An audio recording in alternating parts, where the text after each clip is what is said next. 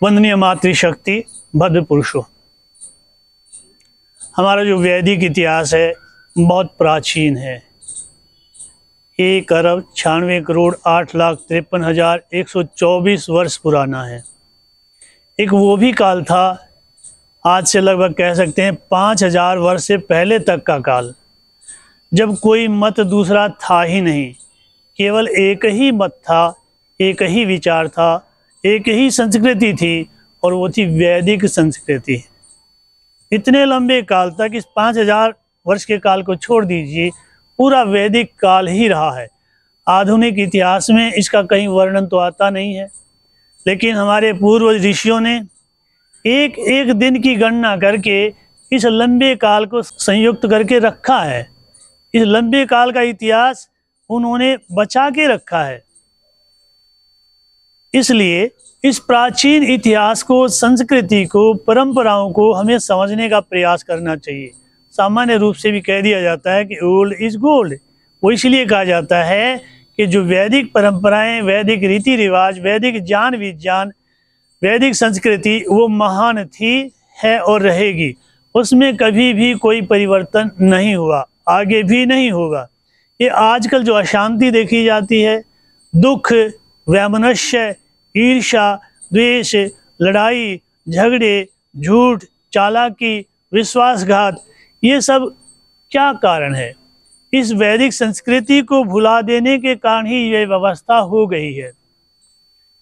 जब ये मत कोई भी नहीं था, पाँच हज़ार वर्ष पहले तो भी तो लोग जीवित थे तो भी तो कोई संध्या उपासना करते होंगे तो भी तो किसी व्यवस्थापक को मानते होंगे, इसलिए हमें उसी परंपरा में लौटना पड़ेगा। अगर पूरे विश्व में हम चाहते हैं कि शांति हो, सुख समृद्धि हो तो उसके लिए उन्हीं वैदिक परंपराओं में जाना पड़ेगा। क्योंकि यहाँ मतभेद हैं। एक मत दूसरे से भिन्न है, उनमें आपस में विरोध है। जब तक एक मत, एक विचार, एक भाषा, एक संस्कृति नहीं हो जाती एक खान पान नहीं हो जाता, इस दुनिया में सुख शांति की प्राप्ति नहीं हो सकती। उसके लिए ईश्वर ने सृष्टि के आरंभ में ही वेद जान दिया था। अगर वेद के अनुसार जीवन चलाएँगे तो उसमें बिल्कुल भी कोई शक नहीं है, संदेह नहीं है, कोई भ्रम नहीं है कि हम सुख शांति की प्राप्ति न कर पाए। लेकिन कुछ जिनको कहते हैं, कुछ धर्म गुरुओं ने अपने मत के अनुसार, अपने विचार के अनुसार अपने शिष्य बना रखे हैं। लंबी लंबी सभाएँ करते हैं, वेद मत का खंडन करते हैं। इसलिए वेद मत का खंडन करने से इन दुखों में वृद्धि होती है। हमारे ऋषियों ने जो सिद्धांत दिए हैं, और ये भी कहा है कि ये सभी विद्वान अगर एक साथ बैठकर सत्य सत्य का निर्णय करें, सत्य को अपनाने और झूठ को, मिथ्या को छोड़ने का प्रयत्न करें तो ये सुख शांति की प्राप्ति कोई दुर्लभ नहीं है। लेकिन अपना अपना स्वार्थ छोड़कर कोई भी इस वैदिक परंपरा को अपनाना नहीं चाहता। वेद, जो कि ईश्वरीय ज्ञान है, इसमें कोई इतिहास नहीं है। केवल और केवल विद्या है। वो विद्या जिससे हमें ज्ञान विज्ञान की प्राप्ति होती है। न किसी व्यक्ति विशेष का नाम है, न किसी सांसारिक घटना का नाम है, न कोई इतिहास का इसमें वर्णन है। इसमें केवल और केवल विद्या से संबंधित ही बातें हैं। इसलिए जब तक एक विचार, यानी वेद विचार नहीं करेंगे, वेद के अनुसार जीवन नहीं चलाएँगे, वेदों को नहीं पढ़ेंगे, वैदिक सिद्धांतों को नहीं जानेंगे, इसके लिए बहुत सरल है। हमारे एक महर्षि दयानंद हुए हैं, जिन्होंने इस विद्या को संस्कृत से हिंदी में, हिंदी सीखकर हिंदी में हम मनुष्यों के सामने प्रस्तुत किया। उनका रचित एक कालजयी ग्रंथ है, जिसका नाम है सत्यार्थ प्रकाश। उस एक पुस्तक के पढ़ने से, जानने से, समझने से इतनी जानकारी हमें प्राप्त हो जाएगी कि बहुत सारे हमारे जो प्रश्न हैं, उनका समाधान हो जाएगा। बहुत सारी जो भ्रांतियाँ हैं, वो मिट जाएँगी। उसके अनुसार जीवन चलाएँगे तो उसके अनुसार जीवन चलाने से बहुत सारे हमारे जो दुख हैं, वो भी मिट जाएँगे। लेकिन जीवन को जिया जाता है। ऋषियों के सिद्धांत को जीवन में उतारा जाता है। जैसे भोजन कितना भी स्वादिष्ट हो, जब तक हम उसकी प्राप्ति नहीं करेंगे, उसका भक्षण नहीं करेंगे, उसको नहीं खाएँगे, हमारे सामने बेशक परोस के रख दिया गया हो। लेकिन उसका लाभ हमें क्या मिलेगा? कोई भी नहीं। इसी प्रकार से वेद विद्या का लाभ तभी मिलेगा, जब जानकर, समझकर, वैसा हम जीवन में उतार देंगे, वैसा हम प्रयास करेंगे। कि उन सिद्धांतों को अपना लेंगे। और वो कोई लंबे चौड़े सिद्धांत नहीं है। एक कदम बढ़ाएँ। कैसे? सत्य न्याय का पालन करना शुरू कर दें। आगे स्वतः ही, आगे आगे, और और ज्ञान विज्ञान में प्राप्त होता जाएगा।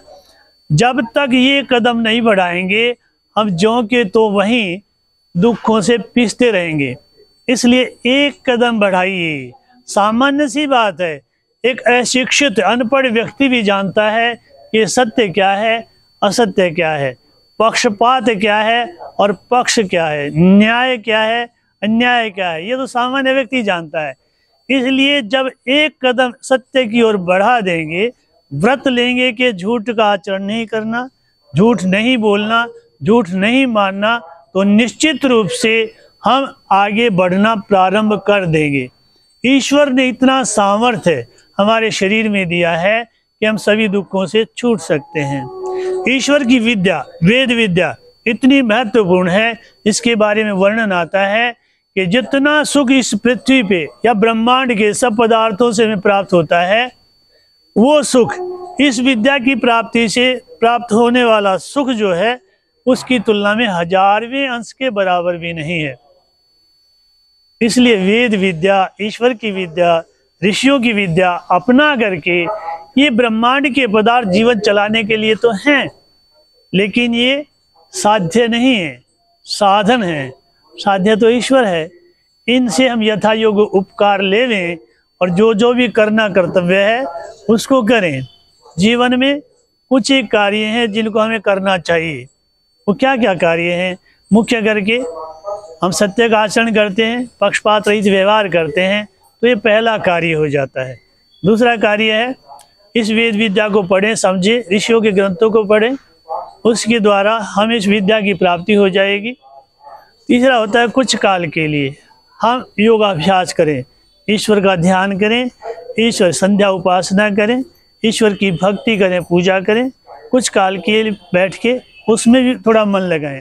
ऋषि परंपरा में जो भी बाह्य प्राणायाम है या आभ्यंतर प्राणायाम है, इनमें से एक भी लेंगे, एक भी प्रारंभ कर देंगे तो ये तीसरा कार्य हो जाएगा कि विद्या, फिर धर्म फिर योगाभ्यास और प्राणायाम चार चीज़ें होगी। और आगे अधिक तीव्र गति से इस जीवन में बढ़ना चाहते हैं तो हम हवन करें, अग्निहोत्र करें, प्रातः साय। क्योंकि जितना भी इस वायु को हम प्रतिदिन बिगाड़ते हैं, मलमूत्र के माध्यम से, वाहनों के माध्यम से, पसीने के माध्यम से, या श्वास प्रश्वास के माध्यम से उतने वायु की शुद्धि जब तक नहीं करते तो हम दोषी हैं, अपराधी हैं। इतना निवारण तो हमें प्रतिदिन हवन के माध्यम से करना ही चाहिए, और अधिक हवन करते हैं तो उससे पुण्य के भागी होते हैं। जितना ज़्यादा उपकार हम इस माध्यम से करेंगे, उतना ज़्यादा सुख हमें प्राप्त होगा। इसलिए हमें प्रयास करना चाहिए इस जीवन को सफल बनाने का, इस जीवन को आगे बढ़ाने का, इस जीवन के लिए जो उद्देश्य मिला है उसको पूरा करने का हमें प्रयास करना चाहिए, तभी इस जीवन में सफलता होगी। अन्यथा ये जीवन ऐसे ही निरर्थक चला जाएगा। इति ओम धन्यवाद। सौ से अधिक देशों में देखा जाने वाला सर्वाधिक लोकप्रिय और सबसे अधिक फॉलोअर्स के साथ पूरी दुनिया में आर्य समाज के विचारों का प्रचार करने वाला एकमात्र चैनल वैदिक प्रचार।